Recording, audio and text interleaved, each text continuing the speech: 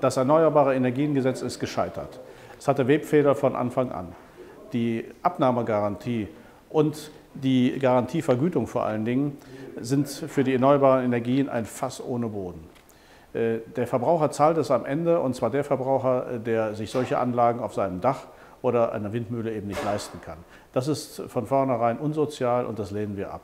Ein durchschnittlicher Haushalt äh, bezahlt heute 220 Euro pro Jahr äh, nur für die erneuerbare Energieumlage. Äh, das ist einfach unsozial und wir sollten darüber nicht mehr lange diskutieren müssen. Also brauchen wir neue Ansätze. Und diese neuen Ansätze für die, Energie, für die Energieversorgung der Zukunft müssen lauten Sozialverträglichkeit, Wirtschaftlichkeit, Nachhaltigkeit, Energieeffizienz. Und, und das ist für uns Liberale besonders wichtig, Technologieoffenheit.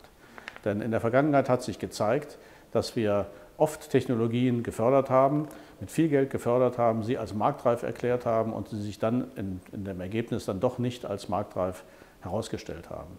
Das ist alles äh, nicht sehr erfreulich und äh, ist eben auch nicht marktwirtschaftlich und letztendlich schadet es uns allen. Äh, ich fordere deshalb für die Zukunft eine technologieoffene Diskussion. Das beinhaltet unter anderem auch Themen wie Speichertechnologie fördern und nicht, wie wir es in der Vergangenheit gehabt haben, eben an äh, Technologien arbeiten, die sich letztendlich dann nicht als sinnvoll herausgestellt haben.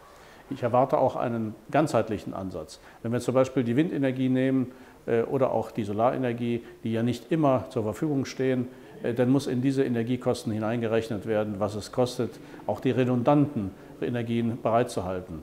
Äh, sprich die herkömmlichen fossilen Kraftwerke, äh, die wir ja allenthalben noch lange brauchen werden.